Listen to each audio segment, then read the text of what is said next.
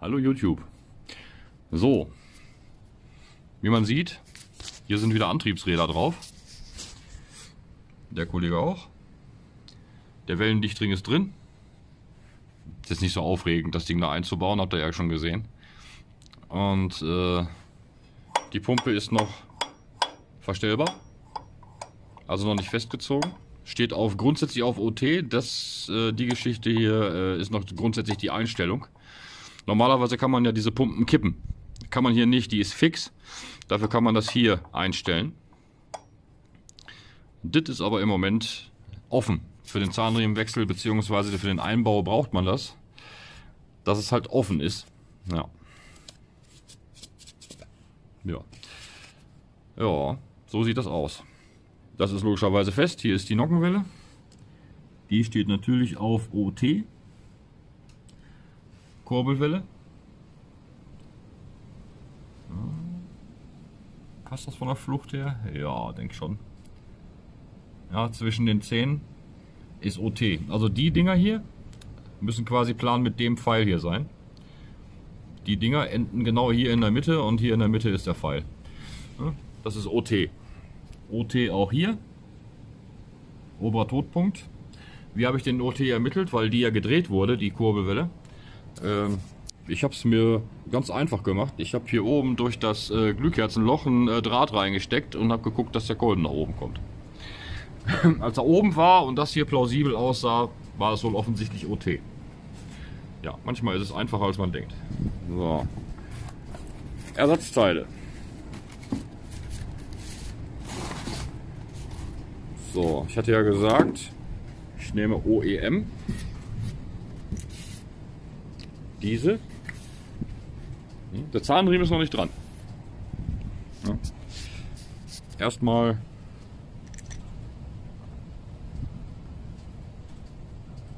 kommt, nein, falsch. So. Wie war das jetzt nochmal? Moment, jetzt muss ich mal kurz überlegen. Stimmt. Die neue Mutter, ach, die neue Schraube muss in da, wo sie nicht rein will. Die kommt da rein. Hier ist auch der Verstellbereich drin, also der Spannbereich. Ergo kommt das Ding so rein. Ja.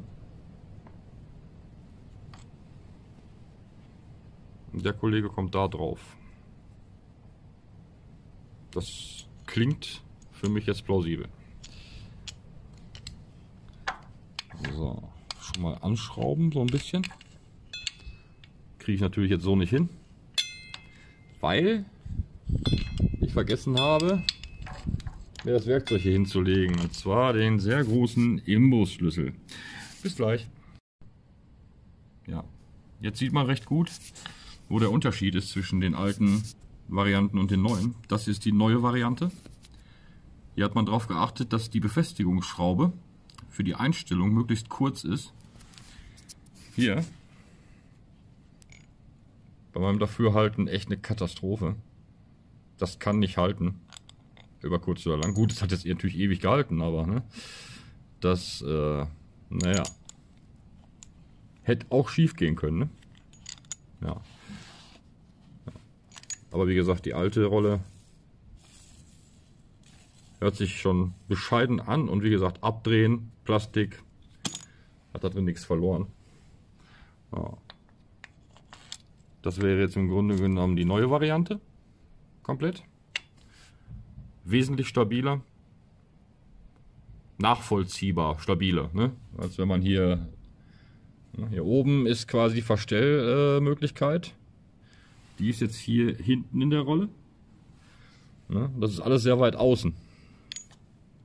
Finde ich persönlich jetzt nicht so glücklich, ehrlich gesagt, weil das alles kippen kann. Man sieht es hier.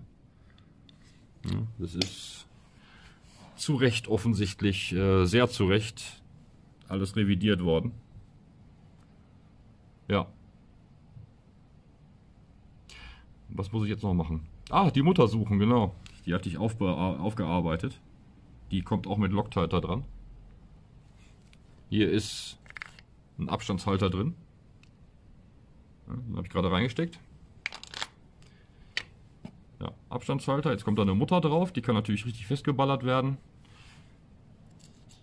Das hat jetzt mit der Geschichte hier insofern nichts mehr zu tun. Ne? Also man kann spannen und die hier bleibt wirklich statisch.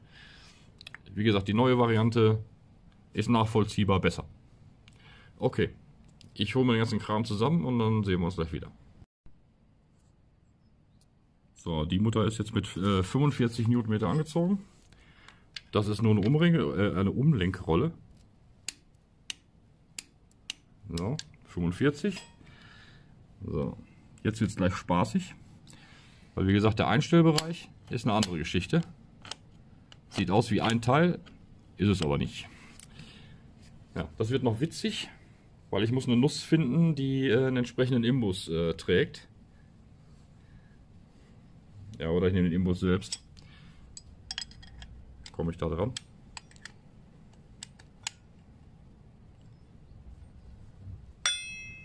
Ja, Gott sei Dank ist er groß genug. Ja. Das Drehmoment wird hier oben über den äh, Vierkant eingestellt. Jetzt habe ich natürlich keinen klassischen Drehmomentschlüssel. Der wäre besser gewesen. Äh, viele kennen die Dinger noch.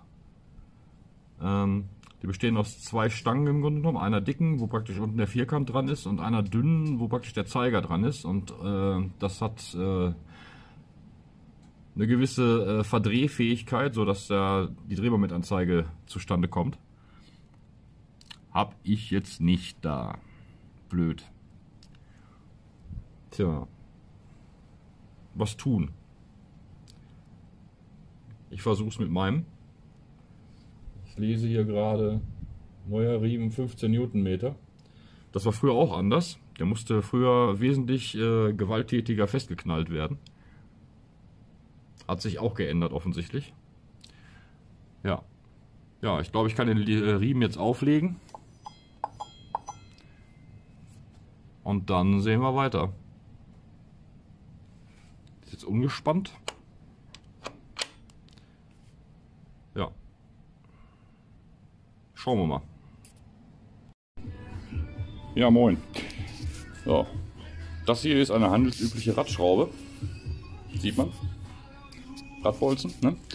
Äh, daraus bauen wir jetzt einen, äh, ein Spezialwerkzeug, um die Kurbelwelle zu blockieren, beziehungsweise das äh, Antriebsritzel vom Anlasser auf der Rückseite, auch Schwungrad genannt gelegentlich, hat er ja nicht.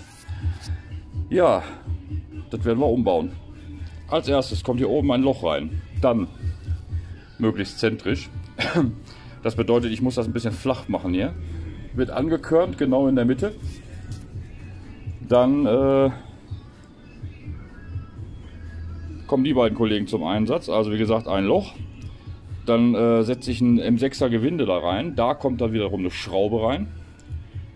Und zwar gibt es die Möglichkeit, die Kurbelwelle zu blockieren.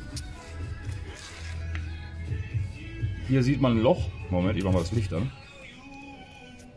So, da sieht man ein Loch. Da habe ich jetzt gerade schon ein bisschen äh, Müll rausgeholt, wie man sieht. So, und das greift genau, wenn man da durchschraubt, greift das genau zwischen die Zähne. Ne? Hoffentlich. Ja. Und zwar soll das dann die äh, Kurbelwelle blockieren auf OT. Wir werden sehen, ob das funktioniert. Okay, ich fange mal an. So, wie man hier sieht, ist da ordentlich Öl drin.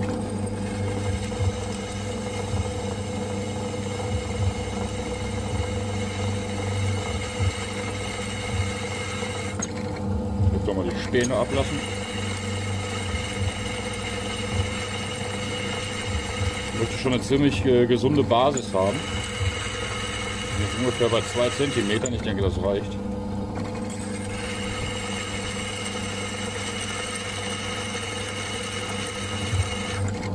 Noch ein bisschen Öl.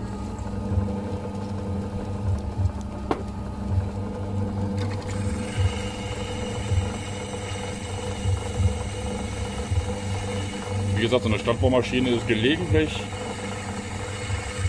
echt ein tolles Teil. Und man kriegt sie echt billig. Werkstattauflösung und so weiter. Das reicht mir. Okay, ich spanne das mal aus und spanne das drüben wieder ein und dann sehen wir uns wieder.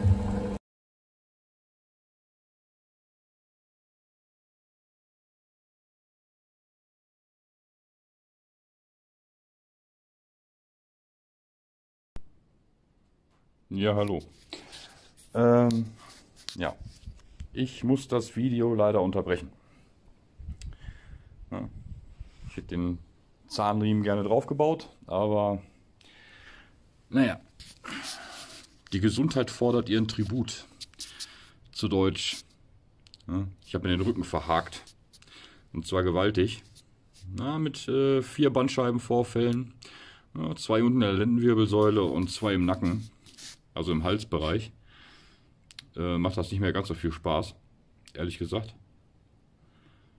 Naja, ich will nicht meckern. Ne? Dafür, dass es so viele sind, geht es mir eigentlich ziemlich gut. Tja. Ich komme also im Moment noch nicht weiter.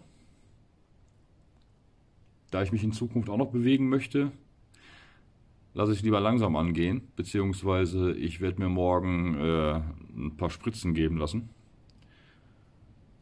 Ja, wie mache ich das Video jetzt fertig? Na, weiter. Das neue Getriebeöl ist auch gekommen. Ein paar Flaschen habe ich noch. Es sind 6, 9, Schlag mich tot Liter inklusive Wandler. Ja, Servolenkung lasse ich auch gerade das komplette Öl ab, beziehungsweise habe ich schon abgelassen. Habe ich mit der Pumpe jetzt einfach rausgepumpt aus dem Kram. Man kann es ja ausbauen. Servolenkung muss man auch öfter mal das Öl wechseln. Hm? Nicht vergessen. Auch die mögen frisches Öl. So Servolenkungen. Vor allen Dingen Servopumpen. Und dann geben die nicht irgendwann auf. Es gibt auch für Servolenkungen gibt es Hydraulikfilter. Haben die meisten Autos gar nicht. Gibt es aber im Zubehör zu kaufen. Sollte man vielleicht mal machen. Das ist äh, auf jeden Fall gut für die Lebensdauer. Tja, ich will euch nicht weiter vollquatschen. Ich, äh, ich habe reichlich Schmerzmittel drin. Deswegen äh, wird da jetzt nicht viel aus meinem Kopf rauskommen. Ja, ich hoffe morgen, wenn ich eine, Spritze kriege, äh, funktioniert das alles wieder. Bis dahin versuche ich mich erstmal ins Bett zu legen und mal gucken, was passiert. Ob es mit Schlafen funktioniert. Letzte Nacht war nämlich die Hölle. Ja, okay. Ich wünsche euch äh, eine angenehme Restwoche. Viel ist ja nicht mehr, ist ja fast Wochenende, wenn ihr das Video seht. Und äh, ja, haltet die Ohren steif, bleibt gesund. Bis zum nächsten Video.